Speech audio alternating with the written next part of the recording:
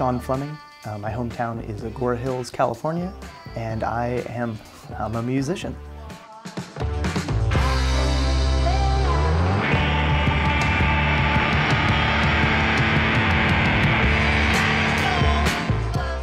My first instrument I ever touched was a drum set of my dad's. Um, I pretty much made noise, but he also had guitars in the house. And around high school, I, I started picking up the guitar. He'd teach me some chords. And at the end of the day, I wanted to get girls.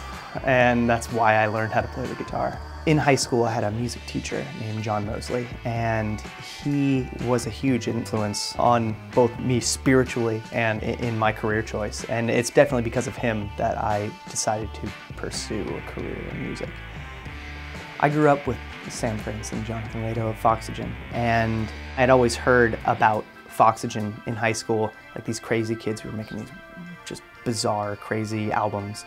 Uh, and then I got the pleasure of meeting them we started playing in each other's projects. And then a few years after high school, Rado called me out of the blue and he said, you know, we've got a show, we're playing, and we don't have a drummer, so do you want to be our drummer for the night?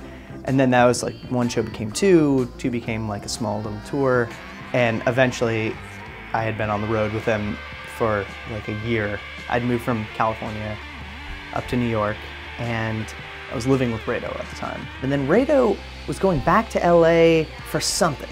Okay, well, now I've got some downtime, alone time, I'm just, I'm gonna record. And I didn't have much there because he took a lot of his stuff.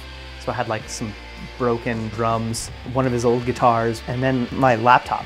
So I was just recording and, and kind of doing whatever I could to make it work, like drums out of pots and pans and the, the, all the bass is just like a really detuned guitar. And My Friend Fish is definitely a, a DIY kind of situation. Like I said before, uh, the My Friend Fish, I wasn't even planning on doing a record. So with this record, I, I, felt like I was going into it like it was my first record. And I've always wanted to do a very big sounding, very animated production.